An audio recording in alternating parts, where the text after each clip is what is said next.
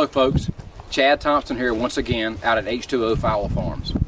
Once you've made the decision to start shooting pistol competition, here's how I recommend you get started.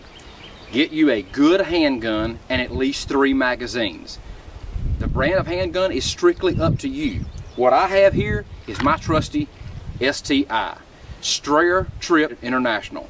They're good to me, they're great guns, and quite simply, the reason I carry this VIP every day is because it operates identical to the gun that I shoot competition with in USPSA.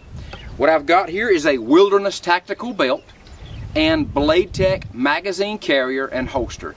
A standard Blade Tech right hand belt holster, standard Blade Tech single magazine pouch.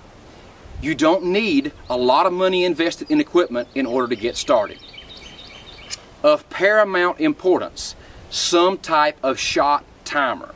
This is the only way you can gauge if what you're doing is working or not working. Once you have these items, the first thing you need to start working on is the proper draw. There are four steps to the proper draw. They are grip, achieving your master grip while the gun is still in the holster. Yeah. Second is clear the holster. Once you've cleared the holster, third is center both hands on the body, and fourth is extend to the target. Achieve the master grip. Clear the holster. Both hands come together at the center of the body and extend toward the target. Achieving the master grip is quite simply, you achieve the grip you want to achieve and maintain while you're shooting while the gun is still in the holster. Now, speed being the economy of motion, what you'll notice I'm doing is every time my gun hand goes to my gun, my support hand goes somewhere to the middle of my body.